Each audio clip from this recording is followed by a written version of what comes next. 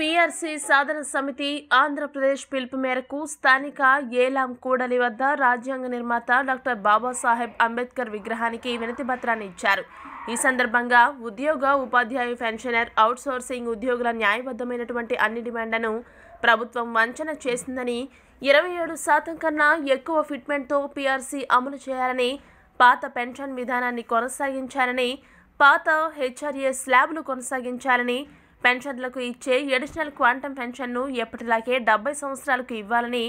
మూడు నాలుగు ఐదు తరగతుల విలీనాన్ని నిలుపుదల చేయాలని ఉద్యోగుల న్యాయబద్ధమైన డిమాండ్లని పరిష్కరించారని ఉద్యోగ ఉపాధ్యాయ పెన్షనర్లు డాక్టర్ బిఆర్ అంబేద్కర్ విగ్రహానికి వినతిపత్రాన్ని సమర్పించారు. ఈ కార్యక్రమంలో పీఆర్సీ సాధన సమితి నాయకులు ఎన్జీఓ అధ్యక్షులు రంగాచారి గౌరవ అధ్యక్షులు లిల్లీ పుష్పనాథం ఏపీజీఈఏ అధ్యక్షుడు భరత్ భూషణ్ సీతంపేట తహసీల్దార్ నరసింహమూర్తి